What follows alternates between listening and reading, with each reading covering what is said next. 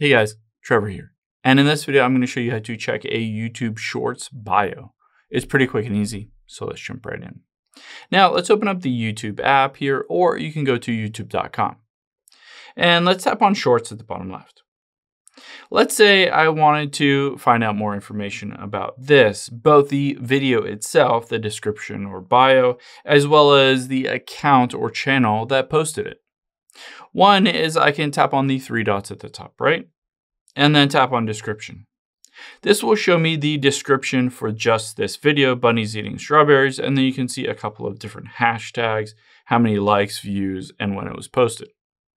However, you can also just tap on where it says subscribe next to it where it has at lovelypuppy1. I can tap on it and then at the very top, I can tap right under where it says the number of subscribers, and it will show me the description for this entire channel. So hello, please subscribe, I love you. And then you can see it has some links on there, more information, where it's located in the United States or which country.